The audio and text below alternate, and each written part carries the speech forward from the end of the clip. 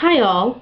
So for this next from the actor's perspective, I want to focus on La La Land, which is the front runner for Best Picture, Best Director, Best Actress, pretty much everything. So let's begin.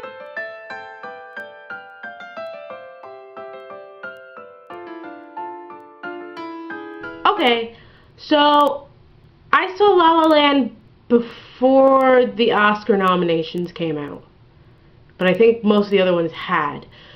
So, um, as you all know, it stars Ryan Gosling, Emma Stone, um, amazing cameo by J.K. Simmons. And basically, the basic plot is it's a love story about a, um, he is a jazz musician, he's trying to make his own club, and a very struggling actress.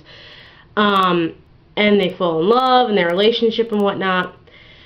So, a lot of people ask me what did I think about it from the actor's perspective. From the actor's perspective, I loved it. I connected to Emma Stone quite a lot, and I actually connected to Ryan Gosling's role quite a bit as well.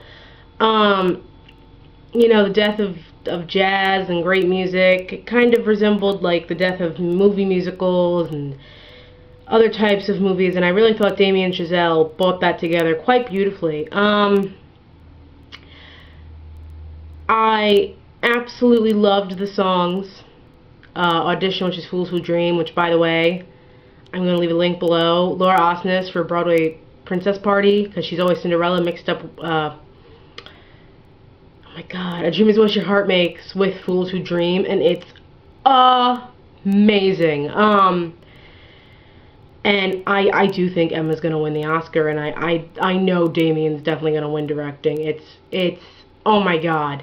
Um, I have not seen Moonlight yet. That is their biggest competition. Um, but oh my god, they're definitely, definitely winning those. Um, I happened to see Emma Stone in Cabaret, so I knew she could sing, and it was, it was great. And Ryan Gosling pleasantly surprised me. Um, I have no real issue. Um, from the actor's perspective, I would highly recommend this movie. Um, I know some people were eh about it. Um, just go in there with an open mind it's it's rather short. It's just over two hours. Um, go in there with an open mind, open heart. Um, it gets very realistic from the actor's standpoint and the human standpoint. Um, and I think you will all really enjoy it. So that's it for today's From the Actor's Perspective. Please like and subscribe. Thanks, guys.